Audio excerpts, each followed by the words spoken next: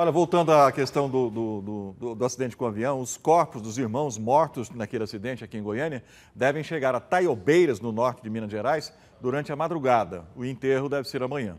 Por aqui, você viu agora há pouco, uma das sobreviventes recebeu alta hoje. Outras três pessoas seguem internadas. A primeira sobrevivente da queda da aeronave a receber alta foi Indira Mendes Maia, de 31 anos.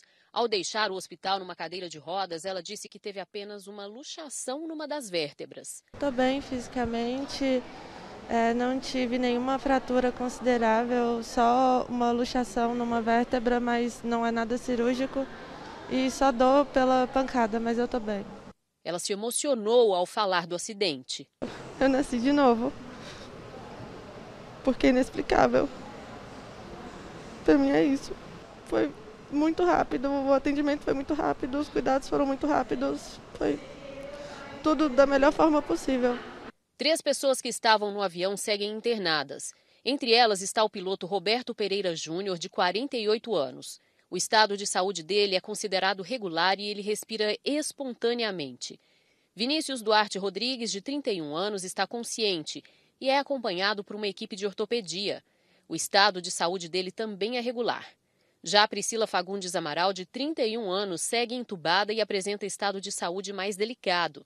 Os irmãos Leonardo Rodrigues da Rocha, de 44 anos, e Bruno Rodrigues da Rocha, de 37, foram socorridos pelo Corpo de Bombeiros, mas não resistiram aos ferimentos e morreram pouco tempo depois de dar entrada no hospital.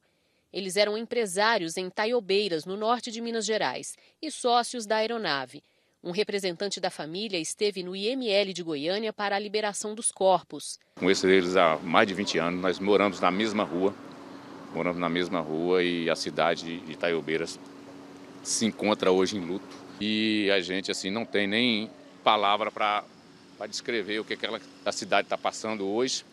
A cidade perdeu dois jovens empreendedores.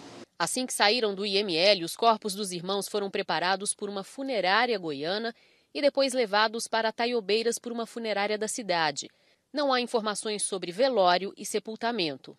O avião saiu da cidade de Taiobeiras, no norte de Minas Gerais, para levar os ocupantes a um congresso de loteamentos. A aeronave é um bimotor Sêneca e, de acordo com a ANAC, está com a situação regular.